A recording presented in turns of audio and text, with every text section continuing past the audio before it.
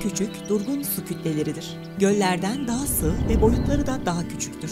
Sığ derinlikleri fotosentez için gerekli olan ve bunlara bağlı birçok su bitkisi ve hayvanının yaşamını mümkün kılan güneş ışığının suya nüfuz etmesine izin verir.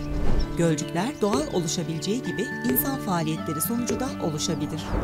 Gölcükler birçok farklı çevresel şartlarda bulunabilir ve tipoloji, su kimyası ve hidrolojisi açısından büyük çeşitlilik gösterebilir. Kalıcı gölcükler tüm yıl boyunca su tutabilirken, geçici, mevsimsel gölcükler suyu yalnızca birkaç hafta veya ay tutabilirler. Geçici gölcüklerde yaşayan birçok tür, su mevcudiyetindeki dramatik değişikliklere karşı hayatta kalabilmek için özel adaptasyonlar geliştirdiğinden, geçici gölcükler çeşitli, benzersiz ve nadir türlere ev sahipliği yapar. Gölcükler genellikle peyzajda izole değildirler.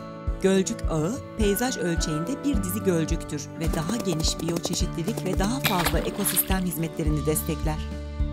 Gölcükler, küresel durgun suyun %30'unu temsil eder ve bitkiler, omurgasızlar, amfibiler, sürüngenler ve su kuşları ve memeliler dahil olmak üzere çoğu endemik, nadir veya nesli tehdit altındaki yüksek düzeyde biyolojik çeşitliliğe ev sahipliği yapar.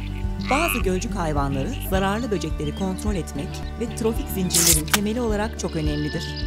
Küresel olarak gölcükler, nehirler, göller ve derelerden daha fazla biyolojik çeşitliliğe ev sahipliği yapar. Gölcükler, su temini sağlanması, yeraltı suyunu yenilemesi ve toprak nemi dengesi sağlaması ve taşkınların etkisini hafifleterek su döngüsünü düzenlemesi gibi sayısız görevleri vardır. Gölcükler özellikle atmosferdeki karbonu tutarak iklim değişikliğini azaltmaya yardımcı olabilir. İnsan refahı, eğlence ve turizm için peyzajda değerli olan güzel manzaralar yaratırlar. Bununla birlikte birçok gölcük hızla yok oluyor ve bozuluyorlar. Geçen yüzyılda Avrupa'daki gölcüklerin %50'den fazlası yok oldu. Küçük boyutları ve genel koruma mevzuatı eksikliği, gölcüklerin dondurulmasına ve ekolojik yapının yıkıma karşı oldukça savunmasız hale getiriyor. Gölcük kaybının ana nedenleri şunlardır.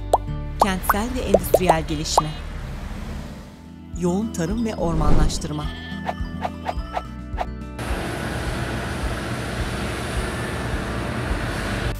gübre ve pestisitlerden kaynaklanan kirlilik, çöp dökme. Genellikle insanlar tarafından kasıtlı olarak getirilen istilacı türler. İstilacı su kaplumbağaları, balık ve kelebeklerin omurgasızları ve amfibileri yedikleri bilinmektedir ve bunların azalmasına hatta yerel olarak yok olmalarına neden olabilir. Bazı istilacı bitkiler tüm su yüzeyini kaplar ve yerel su bitkileri için yer bırakmaz veya aşağıda suda yaşayan organizmalar ihtiyaç duyduğu oksijeni su yüzeyini kaplayarak azaltır. Sonuç olarak iklim değişikliği ve kuraklıklar, özellikle yağışların azalması beklenen Güney Avrupa bölgelerinde gölcüklerin geleceğini tehdit ediyor.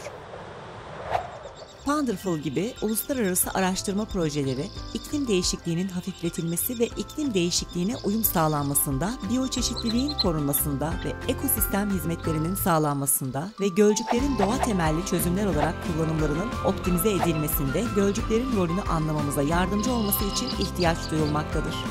Gölcüklerin kayda değer küresel önemi, yerel, ulusal ve uluslararası düzeylerde uygun politikaları, planlamayı ve korumayı gerektirir biyoçeşitliliğin korunması ve iklim değişikliğine karşı mücadele için gölcüklerin kullanımını en üst düzeye çıkarmak üzere etkili önlemlerin uygulanması için bilim insanları, yasa koyucular ve diğer tüm ilgili paydaşlar arasındaki yakın işbirliği esastır.